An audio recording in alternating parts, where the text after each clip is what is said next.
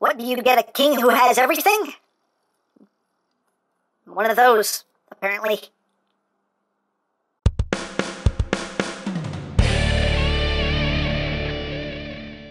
Hey! What's up, my peoples? EmGo here, the freaking geek himself, and today we will be reviewing the DNA Design Power of the Primes Predaking Upgrade Kit. So here we are, and there it is. And first and foremost, as always, we'll take a quick look at the packaging. So, my friend there, we have Predaking's beautiful mug there, part of the Prime Predaking Upgrade Kit. On top, same thing.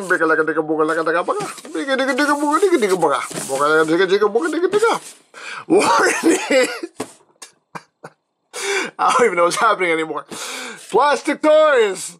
Robot action figures, collectibles, Ranger 16 Plus, brand DNA, made in China, barcodes, words and things and stuff. On the back of the box, you have your obligatory product shots, this, that, the other, and that's basically it for the packaging. And moving right along, here we have the upgrade kit for Power of the Primes of Predaking. So let's just run through everything that comes in this kit. First thing you get is uh, some new wings here, some new uh, larger wings with some silver, with some gold, with some nice gold there on the uh, on the feathers. So good looking set of new bigger wings. You get some new fully articulated hands. We'll get more into these in a little bit.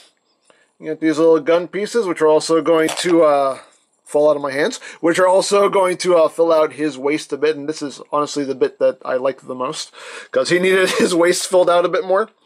Uh, you do have a, uh, a back filler piece to fill in the gap in his back, and you see it's kind of a spinal looking with some bits of gold in there. You get Two of these, I already have one installed, but you get two of these, and these are just new uh, ratchet pieces for the shoulders, so you have to do a little bit of a surgery on him as well. And you also get a new big old sword here. You can see done in gold, and looks quite, quite nice. A little green in there as well. So, there you have that. So first we'll start off with the new wings. So we got Divebomb here, and uh, the wings are very easy to swap out. They're just on a big mushroom peg here, so you just pop them out with the greatest of ease. With the greatest of ease. Greatest of ease. There we go. Pop out the wing. And you just take the new one, and that will just pop into place again with the greatest of ease. There we go. Snaps right in. And then everything just sits where it did on the original. It just snaps right into place. And just so we can get a little, uh, oops. Everything does tab in as it should. It's just the point of getting everything lined up, which I clearly do not. There we go. So you have the new wing, which is a bit heavier and is making him lose his balance here. Come on, Divebomb. Come on. Okay, I'll just hold him up. But you can see how much uh, it improves upon his wingspan there. So now we'll just uh, we'll swap them both out here. Come on. Come on.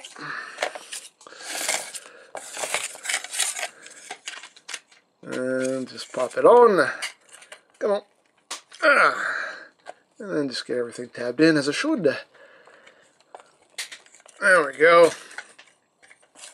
There you go. So have Divebomb and his new impressive wingspan. Hooray! Hooray! And it has the same articulation. Can move backwards. Sections here can move down. They're on a they're on kind of a ratchet that's you know kind of stops at three places. You have obviously the downward position, then it will stop there. It'll stop there then it stops there. You can, you know, you do have some play in between the joints, so you really can pose it however you want, but you have those actual stopping points for it. And uh, the feathers themselves are on hinges, so you can splay those out however you want. So that is quite cool. So there is Divebomb with his new wings. So now let's talk about the new hands, and to swap these out is Very simple. We just bring in the original hand, and you're just going to pop the hand off of the uh, wrist piece, and it's just on a mushroom peg. That comes off very easily. And you just slide on the new hand. Just pops right into place. And there you go. And these hands will store in the feet, just like the original ones did. So you still have the storage option there. So that's nice. And these do fit a little bit more snugly than the original ones did. There we go. But yeah, um, as far as these hands go, they are fully posable here. You can see the thumb has a hinge at the base, which allows it to move up and down. It can also rotate. You also have a hinge right there and a hinge right there. Each of the fingers is on a hinge at the base. You have a hinge there and a hinge there. So you have nice full movement there on the fingers. And the fingers also have a hinge right there, which will allow you to splay out to the fingers also. So you can get some good grabby poses. So fully posable hands there. And you can open up this panel here and use the fingers to help bring them out. He does have his knuckle spikes. For everybody who's complaining that he didn't have his knuckle spikes, there you go. He has the knuckle spikes now. Which is quite cool. You can bring the fingers up. You can see they just move with the fingers. There you go. He has his spikes, his knuck spikes right there. So that is pretty cool. And here is the hand on the arm, so you can get the uh, the full effect here. That looks quite cool. You also have a hinge at the base of the hand, which allows the hand to move upward like that. So you can get that going. Again, you have that wrist rotation as well. So you can have more like, stop in the name of love. You can do that if you want. Hey, why not? Why not? Dare I say why not? But you get some nice posable hands there for Predaking now. So that's quite, quite cool. The next thing is this back filler piece, and you can store this on Razorclaw. And if I just bring him in, um, how you store this is you want to take this section here and bring this down. And this is going to tab in, you see that tab right there is going to just tab in right in here. So you just tab that like so. And then uh, this is is the awkward part here. We're to bring this down, and these two posts are going to plug into these ports right here, like that. And that's how this piece stores on Razorclaw, and that looks so, so wrong on so many levels. What? Hey, it's storage. Very awkward inappropriate looking storage, but storage nonetheless. And as far as robot mode goes, um, it just stays in that exact same spot and ends up on his back there. So that's a lot better as far as storage for that piece. So there you have that. So now let's talk about the big old sword here, and this is quite a large sword, as you can see. you can see again, very nicely done. And this sword can break apart into two pieces here. We can just pull the blade off. Everything is just pegged together, so we can pull these sections off. We can separate the two halves of the blade, and then these sections here will also come apart, like so. And you can even pull these pieces off if you want. Again, it's all just pegged together, like that. And now you have all of these little weapons that you can give the individual bots. So we'll bring Razorclaw back in. And if you want, you can see a little post here. And you can give him this as like a big, you know, like a big hammer if you want. Or something like that, you know, give him a big old hammer. That's a thing you want to do. It's a thing you can do if you want to do it. You can take these pieces and, you know, plug them back on. So have, you know, spikes on them or something. You can do that. Make it look like a pickaxe. I don't know. Why not? You can give him these as individual swords as well, or you can, you know, give him these if you want that look going on, or you can have them together and just have a giant sword. why not? Dare I say, why not? You can take these, you can plug these into this if you want. Have that going on. Again, you, you, you can pretty much do whatever you want with these. Um, what else can we do? We can plug these together as well, although they don't hold together that well on their own. But the instructions show them together, and I'm holding this as a weapon, but like I said, it doesn't really hold together that well.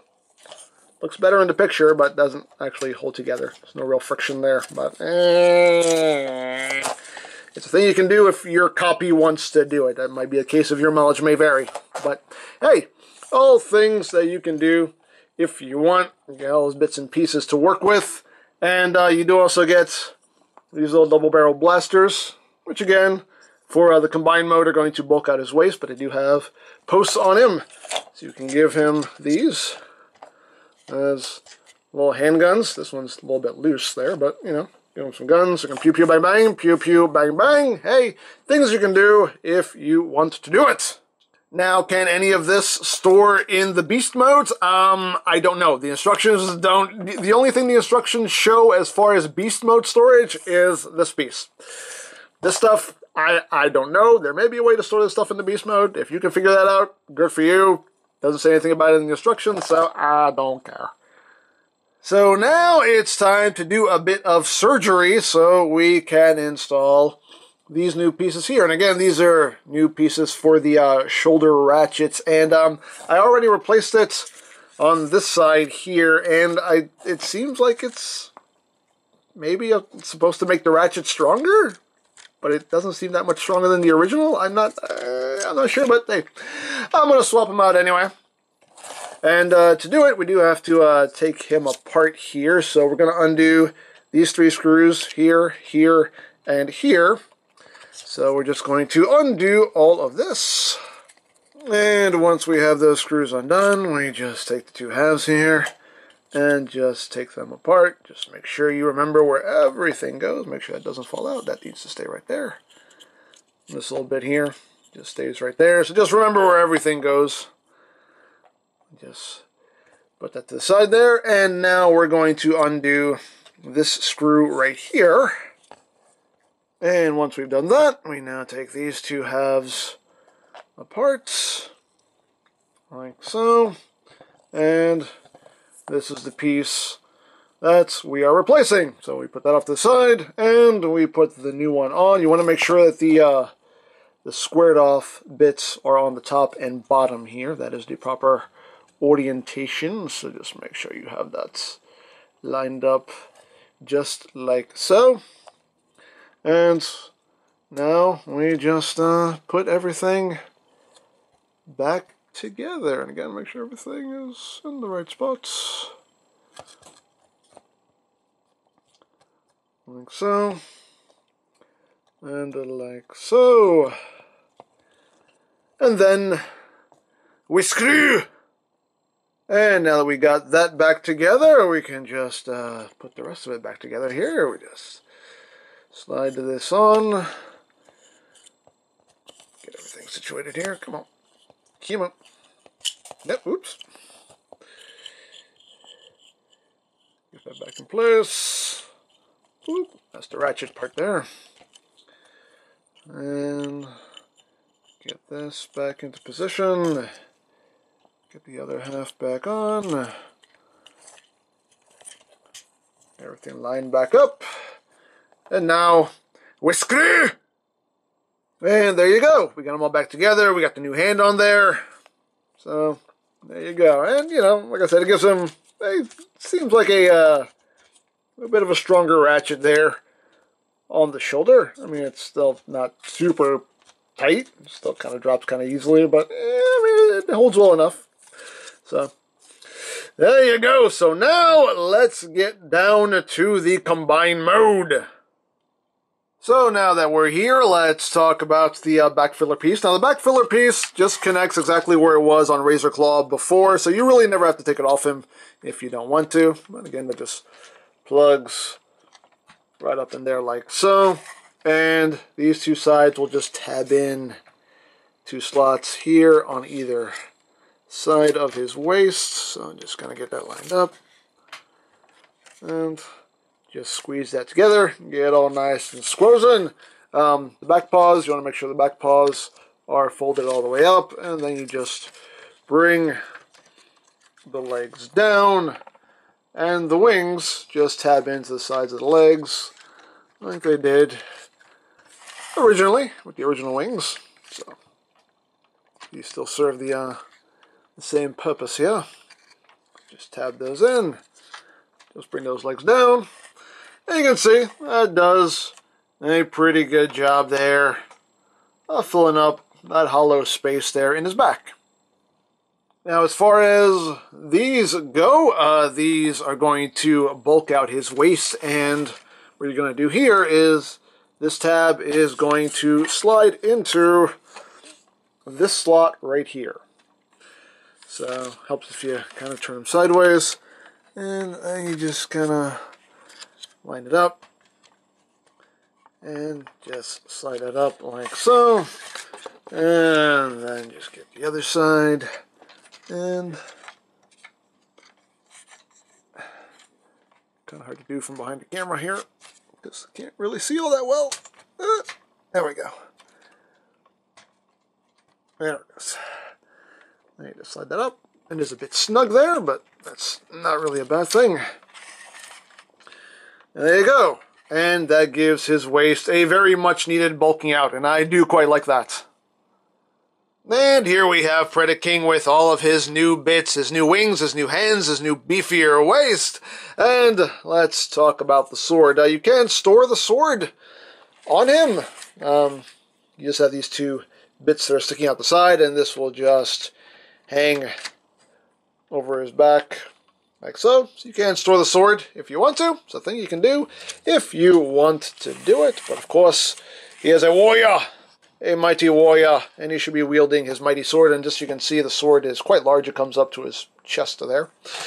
But we can just open up his hand here. You can see there is a big tab, a big slot there in the palm.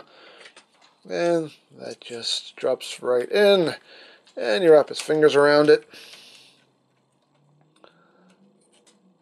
Like so. And he holds it pretty securely. Although the shoulders, even with those new ratchets in there, the shoulders really aren't strong enough to hold it up though. It's not really, eh, still doesn't quite work. The, the sword is is pretty heavy and that just, yeah, he, he, he can't hold that up. There's just, there, there's, there's no holding that up. But hey, he can hold it like that, but there you go. The king has his sword at last. So there is the upgrade kit for Predaking. Um, it's a good kit, you know, it does everything it sets out to do, and it does it well without really uh, much effort. The only thing I really don't get is the replacement pieces for the shoulders. I don't know if those were intended to make the ratchets stiffer, but it doesn't really work because he still can't hold that sword up, so I, I, I, I don't know about that. But everything else works as it should, and it's uh, definitely a nice improvement here for the king, so there you go. So if you would like this or any of DNA Design's other offerings, you can always check out BigBadToyStore.com for availability. There will be a link in the description uh, down below so you can check that out. You can also check out my third-party Transformers playlist for any reviews you may have missed. Also linked in the description uh, down below so you can check that out as well. And I think that's it. So don't forget to check out EmGames, check out LoriPlan, follow me on Twitter, all that good stuff down in the description below. And I think that's pretty much all there is to say. So there is the DNA Design Power of the Prime's King Upgrade Kit. And this is EmGo saying, remember, you don't stop playing because you grow old, you grow old because you stop playing. Be geek, be proud. Boom in your face.